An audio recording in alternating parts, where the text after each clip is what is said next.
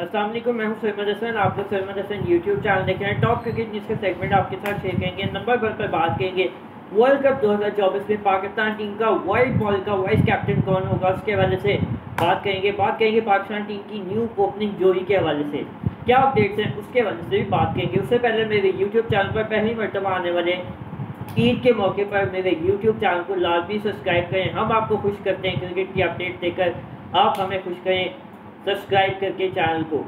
Like भी करें, share भी करें, कमेंट भी करें। चलो, सबसे पहले बात करते हैं पाकिस्तान क्रिकेट टीम के वाइट बॉल के वाइस कैप्टन को लेकर बड़ी मुशावरत हो रही है आजकल पाकिस्तान क्रिकेट बोर्ड में, पाकिस्तान क्रिकेट टीम की सिलेक्शन कमेटी में। और जैसे ही वर्ल्ड कप से पहले ये स्क्वाड अनाउंस हुआ है अगेंस्ट न्यूजीलैंड होम सीरीज़ में, पाँच टी ट्वेंटी मैचेस के लिए तो सवाल किया गया चीफ सेलेक्टर वहाँ पे आज और सीनियर जो पाकिस्तान क्रिकेट टीम के आपके जो हैं। सिलेक्टर उनसे कि यार क्या पाकिस्तान टीम का वॉइस कैप्टन कौन होगा? वर्ल्ड कप 2024 में इंग्लैंड सीरीज़ में आयरलैंड सीरीज़ में और न्यूजीलैंड की होम सीरीज़ में। तो उन्होंने कहा कि ईद के बाद हम इसकी प्रॉपर अनाउंसमेंट कर देंगे कि अब बाबर के अलावा पाकिस्तान टीम का जो वाइस कैप्टन है वाइट बॉल में, वो कौन होगा? तो अब बड़ी मुशावरत की अपडेट आ रही है और बड़े मशवरे कर लिए गए हैं। और अपडेट्स के मुताबिक 80 परसेंट चांसेज हैं 80 परसेंट अस्सी फ़ीसद ये मौाक़े हैं, ये चांसेस हैं कि मोहम्मद रिजवान को पाकिस्तान टीम की जो वाइट बॉल की वाइस कप्तानी है, यानी जो बाबर का नायब कप्तान है, वो रिजवान को लगाया जा रहा है।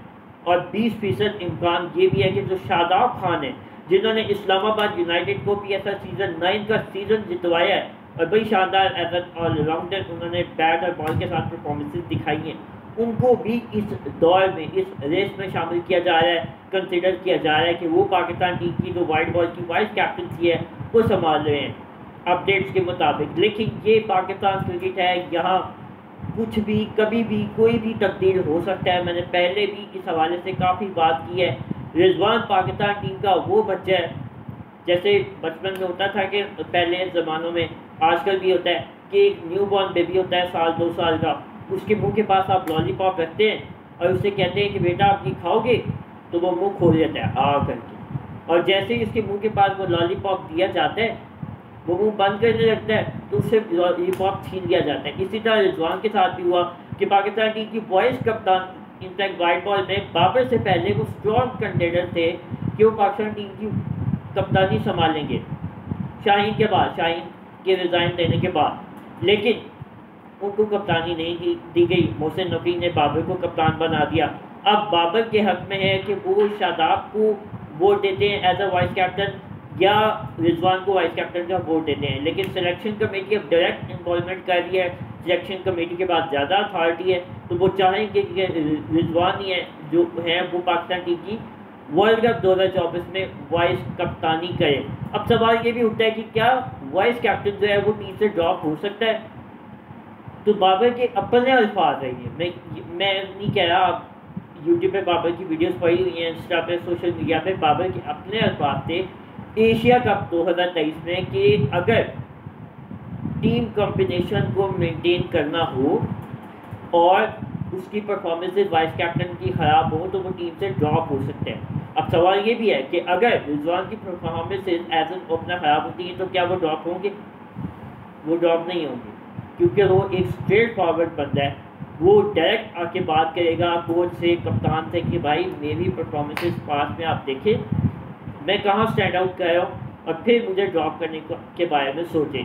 तो ये बाबर के हाथ में अब कि अब वो क्या डिसीज़न लेते हैं? सिलेक्शन कमेटी तो फैसला कर चुके हैं कि रिजवान ही वाइस कैप्टन होंगे।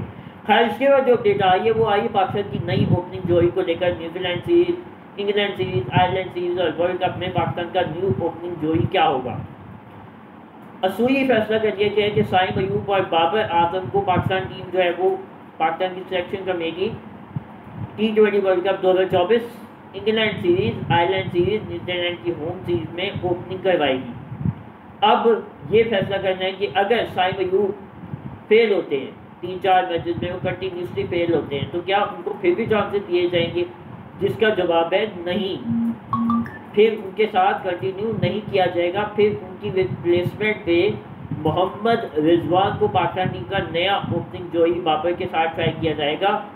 वैसे अभी तक की जो अपडेट्स हैं, वो बाबर और साइमयूब ओपन करेंगे। तीन पे आपके रिजवान आ जाएँगे, चार पे उस्मान खान आ जाएँगे। इस सीरीज़ में न्यूजीलैंड की होम सीरीज़ में फ़खर जमान के साथ डेफिनेटली ज़्यादा हो रही है, लेकिन अब टीम कम्बिनेशन भी बनाना है। तो देखते हैं पाकिस्तान की टीम सिलेक्शन कमेटी क्या करती है।